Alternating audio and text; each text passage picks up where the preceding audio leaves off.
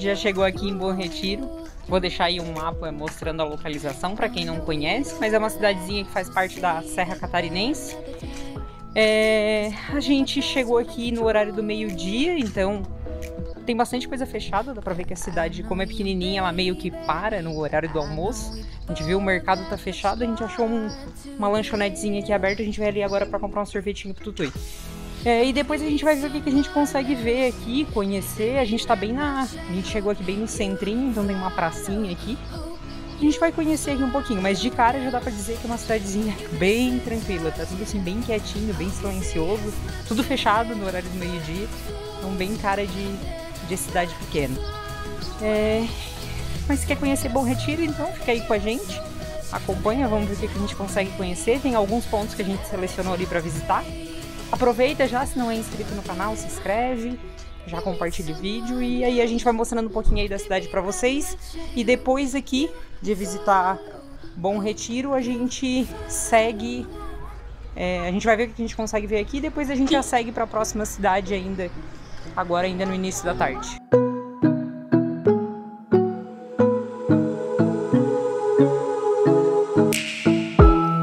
We've been looking in each other's eyes. Anything left there for you? Now I know you don't wanna lie, so save it for another time. Cause a hundred more tries will make it true. Yeah, I know you, baby. Yeah, I know we both have much more to give. And when you meet someone else, they mean that. Bom, a cidade de Bom Retiro que a gente está agora é, é uma cidade bem pequena, bem, é uma cidade bem pacata, aliás. A Vanessa acho que já comentou que ela é uma cidade bem pequenininha, da Serra Catarinense.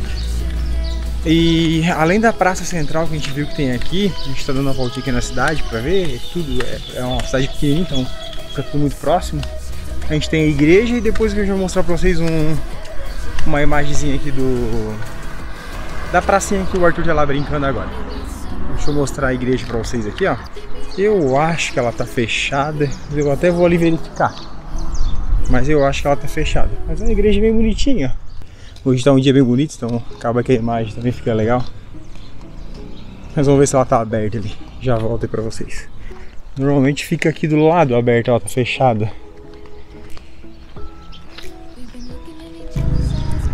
Agora que a gente tá voltando pra praça central aqui, a principal pracinha, o Arthur e a, e a Vanessa estão ali, o Arthurzinho não pode ver um balanço agora. E aqui pra cidade em si, ela é. Acho que deve ser a praça central. Não encontramos mais nenhum uma outra praça aqui. Tem um monumento ali que a gente já mostrou algumas imagens. o Arthurzinho brinca. E e a praça é uma, uma típica praça das cidades aqui da região, da região aqui. Nesse mesmo sentido aqui, com um, um parquinho, a pracinha. O lugar é muito, mas muito pacato, muito silencioso. Eu acho que só eu tô falando aqui. o resto do pessoal tá, tá bem quieto, se vocês olharem conseguirem ver alguém aí. A maioria tá em silêncio. Aqui na pracinha dá pra ver que o pessoal aproveita, tá aqui, tá aproveitando o horário de almoço, que as coisas fecham nesse horário, e aproveitando que aqui eu vi que tem internet liberada. Então acredito que o pessoal já fica por aqui para aproveitar também e usar a internet disponível. O fundador e os primeiros moradores aqui acabaram chamando a cidade por esse nome de Bom Retiro, justamente por ser um lugar onde eles achavam que era um bom retiro, era um lugar calmo, tranquilo. Então o nome é não tem nada de mirabolante, é bem Continua até hoje, né? é, é bem. E o lugar é bem tranquilo, bem calmo, dá pra ver. Agora que tá terminando o horário de almoço, que tá começando a movimentar um pouco mais, tá começando a aparecer uns carros, mas a hora que a gente chegou mesmo, que era meio-dia, tava uma, um silêncio, tu conseguia ouvir, eu acho até a mosca voando. O mercado fecha meio-dia. É, o mercado ficou. Pra ver, o mercado que parece ser um. Eu acho que o maiorzinho aqui fica fechado no horário do almoço. Ele abre 1h30, vai abrir daqui a pouco. Até. Eu acho que a gente vai até ir ali, né? Pra quem vem visitar a Serra Catarinense, eu acho que é um- uma boa opção de parada. Até vou deixar aí pra vocês alguns valores de pousada, de lugar para ficar, porque acredito que entre as cidades da Serra, posso estar enganada, mas eu acho que essa vai ser uma opção barata. Eu acho, porque é uma cidade mais pequenininha. O que é engraçado que eu achei foi a questão de, apesar de uma cidade antiga, não tem muito monumento Não tem antigo, nada, né? não tem muita coisa antiga. achou, né? É. No site. O que a gente viu no site da prefeitura fala do. Tô aqui fazendo propaganda pro mercado. Bem na frente. É, o que a gente viu? Tem o monumento ali do fundador. A gente viu também que tem um monumento aos tropeiros, mas tem que descobrir onde que fica. E tem o Morro da Cruz que fala que daí dá uma visão bem legal da cidade, bem que consegue ter uma visão mais geral. Mas eu não consegui pelo GPS achar como chegar. Mas depois daí a gente vê. Mas agora a gente vai aqui no mercado e, e depois mostra um pouquinho mais pra vocês. Se a gente achar mais alguma coisa também a gente vai mostrando e, e vamos conversando.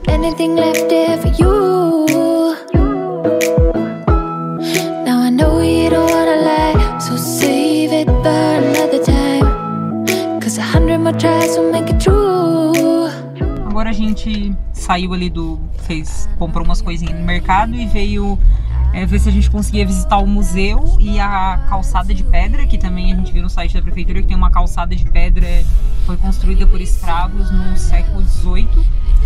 A calçada de pedra a gente ainda não. A gente tá indo, vai ver se consegue visitar. A gente não conseguiu falar com ninguém, não conseguiu muita informação. O museu marca que abre duas horas, mas a gente olhou, não tem ninguém, não tem nenhum movimento, não tem nada. Ele tá aparentemente fechado. Mas enfim, a gente vai deixar umas imagens aí pra vocês ver o caminho e vamos lá ver se a gente consegue ver a, a calçada de pedra agora.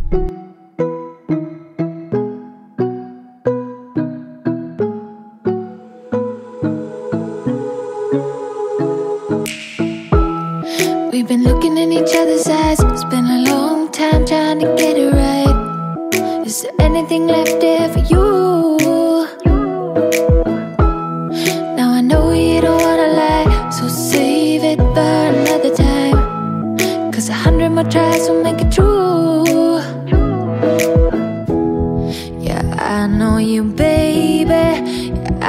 We both have much more to give. And when you meet someone, Bom, agora a gente tinha falado pra vocês, a gente foi no museu ali, tava fechado. Aí a gente viu até, veio comentando no caminho, né? Que tava bem sinalizado, a gente viu várias plaquinhas de, de acesso aqui à, à calçada de pedra, a tal calçada de pedra do século XVIII. É, e aí a gente voltando do museu, indo de novo em direção ao centro ali de Bom Retiro, é, nós vimos as plaquinhas e de acordo com o GPS também estava mandando a gente pra cá e a gente viu as plaquinhas até gente tirou uma foto, vou deixar aí pra vocês verem. Tava tudo bem sinalizado, mostrando para que lado, para onde que ia para chegar na calçada de pedra. É, e também plaquinha para outros locais ali, outros pontos.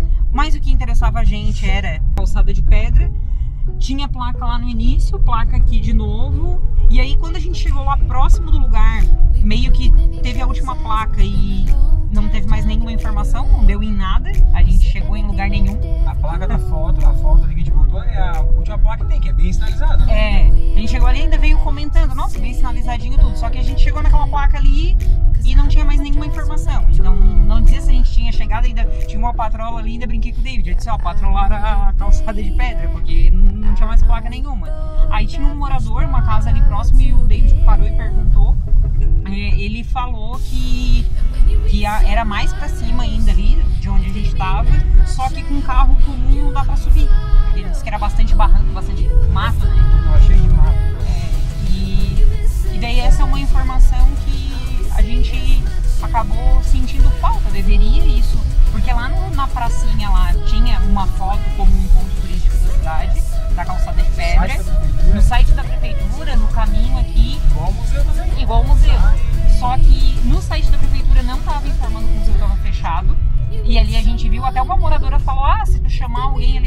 da casa, ali próximo, eles abrem. Mas é complicado também, a gente ia lá chamar alguém. Pelas informações era pra estar Era aberto, pra estar aberto a partir das duas. A gente esperou até duas e pouco. A gente né? esperou até duas e pouquinho, mas não abriu. Enfim, eu acho que essas informações a gente ficou um pouco chateado com isso. Deveria estar no site da prefeitura. Porque a gente parou na cidade por causa dos pontos turísticos.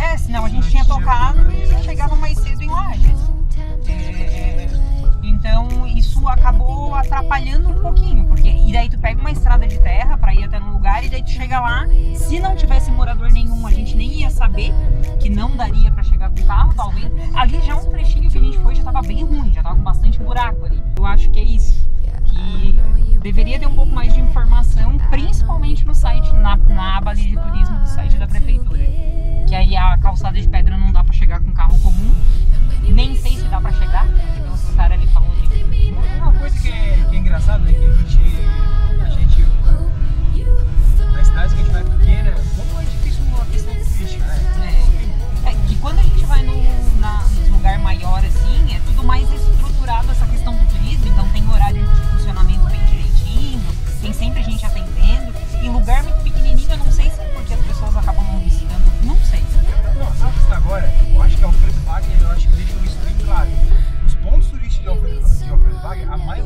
privado. É privado, E os privados todos funcionam 100%. 100%. Uhum. O que é público ali, qualquer que for a cidade que dificuldade para funcionar? A gente viu até nessa, nessas mais pequenininhas e nessas que a gente passou especificamente agora, até as igrejas, Até as igrejas. as igrejas fechadas. Mas eu acho que é isso daí. Então agora a gente segue, a gente vai seguir viagem, o tempo tá meio fechando. Não sei, também ali na próxima cidade que a gente vai é, ali em Bocaína, Bocaína, Bocaína do Sul. É, não tem muita informação na internet. O ponto que a gente, que eu acho que seria o principal, que é um criador de trutas, a gente optou por não ir, o acesso,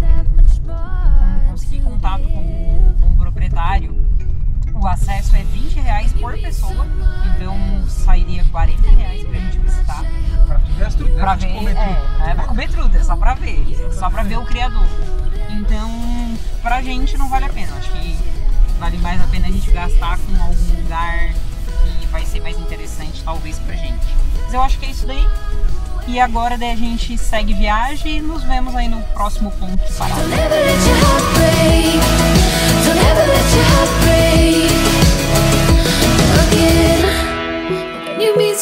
Don't if they mean that much, I hope you follow.